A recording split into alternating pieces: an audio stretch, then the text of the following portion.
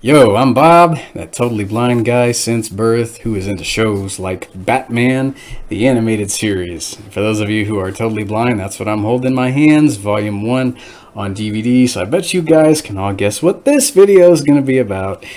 And if you like what you see and hear in this vlog-ish video, you can like, subscribe, hit the notification button, and do share the vids if and when you think about it. It helps the channel tremendously.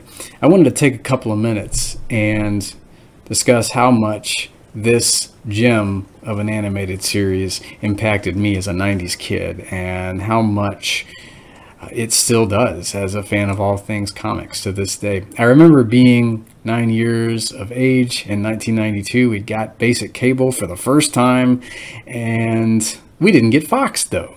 We didn't get Fox until 1995. So I wanted to watch Fox. I had to go to Memphis, Tennessee on spring breaks and summer breaks and watch Batman the animated series at either my dad's house or my grandma's house because they got Fox on their basic cable. I don't know why we didn't. That was so weird. I, I should do a little bit of research, go down that rabbit hole at some point.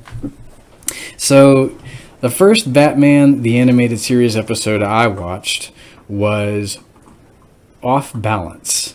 And I remember the score blowing me out of my seat. And I remember my mom sitting there over spring break during 1993 while I was at my grandma's and she was just blown away by by the art in in the animated intro there. She has always been a fan of of animation and art and things like that. And I got a really cool family. You know, my mom and my grandma, they were never folks who were like, oh, Bob, you can't watch this show because you'll probably go out and, and start crashing cars into things and robbing banks and things like that. Oh, it'll, it'll turn you into a criminal. Oh, it's evil. They're, they were never like that. I, I just played with the action figures and that was it. You know, they, they knew me better than that. So, yeah, they, they actually sat and they watched the episode and I remember I remember getting hooked. I remember listening to Kevin Conroy's portrayal, listening to a portrayal. I guess I can use that. uh, listening to his uh, his Batman voice there, and that right then and there became my definitive Batman.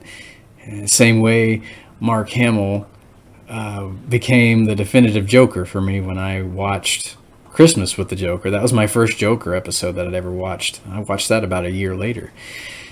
So, I mean, the voice work was and still is spectacular.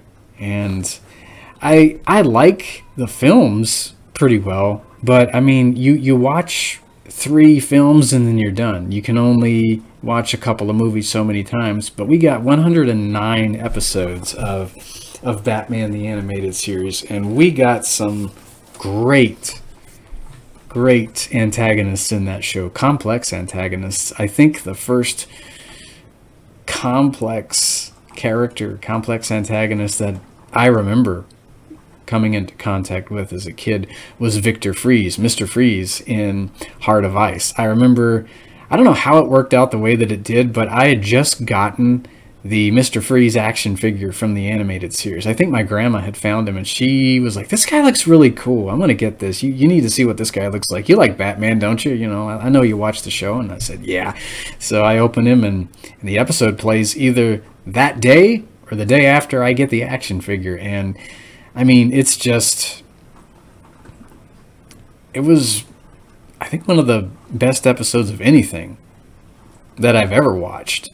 I mean, Paul Dini, the the writer, I mean, he just nailed it. I you got this guy who's trying to find a, a cure for his wife. She's got this degenerative disease, and he, he wants to put her in uh, suspended animation until a cure can be found. He's just you know he's selfless he's he's trying to save her life and you know these jerks break into this lab and they find out that he's using you know their company equipment i'm guessing he works for the same company and he's he's you know they find out he's trying to to save his wife Nora and there's a big fight there's a fire he's exposed to the all kinds of stuff in the lab probably the same cryogenic solution and I mean it he he can't survive outside of you know his big crazy cryo mech suit. He can't survive above freezing temperatures, and he is a, a grieving man. He he wants to take revenge on Mr. Ferris Boyle for ruining everything, ruining everything he ever had, everything he ever wanted. And I mean, I, I didn't find out until just a few years ago, even though Mr. Freeze is trying to come off as this emotionless, cold, unfeeling, unthinking character, he actually cries. He sheds a tear at the end of the episode. And I found that out. I mean, they don't have, they still don't have uh, audio description tracks to this show. I mean, I love the show as it is. I mean, I have been a fan for over two decades, but I mean, I would love to actually watch the show the way that it was meant to be watched. I mean, I love the fight scenes and all, but I mean, Batman doesn't talk very much. So unless I have someone there descri- describing what's going on to me, I, I don't know what's going on very, very much. So it would be cool if uh, HBO Max or the folks at Warner Brothers would would uh, add some audio description tracks. Well, add audio description tracks to every single episode, and that would take a while. But oh boy, I, I would uh, I would very much enjoy that. So yeah, this will have to do for the Batman vid. I would like to go into other videos in the future in which I talk about you know episodes that I really liked. Maybe some episodes that scared the pants off of me when I was a kid, because there are a few of those. Feat of Clay on Leather Wings come to mind. But uh, we'll save that for another video. Um, it's been a lot of fun talking about this show. And I mean, like I said, movies are, are fun, but there's just something about episode after episode. You get a lot more story that way. So, I can't say may the force be with you. It's not a Star Wars video. Uh, may your batarangs strike true. May the bad guys stay in Arkham. Well, that wouldn't be a very fun episode if they did that. Never mind. I'll hear you later. Bye-bye.